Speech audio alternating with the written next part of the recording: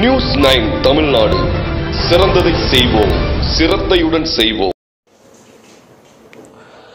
திண்டுக்கல்லில் மாநில அளவில் நடைபெற்ற கையெழுந்து போட்டியில் பெண்களுக்கான இறுதி ஆட்டத்தில் எஸ்ஆர்எம் ஐஎஸ்டி சென்னை அணியும் ஆண்களுக்கான இறுதிப் போட்டியில் மெட்ரோ ஃபோர்ட் கடலூர் அணியும் முதலிடத்தை பிடித்து ரொக்கப்பரிசு மற்றும் சுழற்கோப்பையை வென்றது. திண்டுக்கல்லில் பொங்கல் பண்டிகையை முன்னிட்டு மாநில அளவில் நடைபெற்ற அம்மா கோப்பைக்கான கையுந்து போட்டி திண்டுக்கல் ஜிடிஎன் கலைக்கல்லூரியின் உள் விளையாட்டு மைதானத்தில் நடைபெற்றது. இதில் சென்னை கடலூர் கோவை உள்ளிட்ட மாவட்டங்களிலிருந்தும் பெண்கள் ஐந்து அணியும் ஆண்கள் ஐந்து அணியும் பங்கேற்றனர். இப்போட்டி கடந்த பன்னிரெண்டாம் தேதி துவங்கி பதினான்கு ஒன்று இரண்டாயிரத்தி இருபத்தொன்று இறுதிப் போட்டி நடைபெற்றது.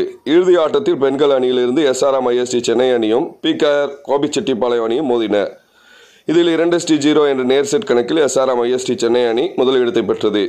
இதேபோல் ஆண்களுக்கான இறுதிப் போட்டியில் மெட்ரோ ஃபோர்ட் கடலூர் அணியும் சென்ட் ஜோசப் சென்னை அணி மோதின இதில் மெட்ரோ ஃபோர்ட் கடலூர் அணி இரண்டு இஸ்டு ஜீரோ என்ற நேர் செட் கணக்கில் சென்ட் அணியை பின்னுக்கு தள்ளி முதலிடத்தை பெற்றது.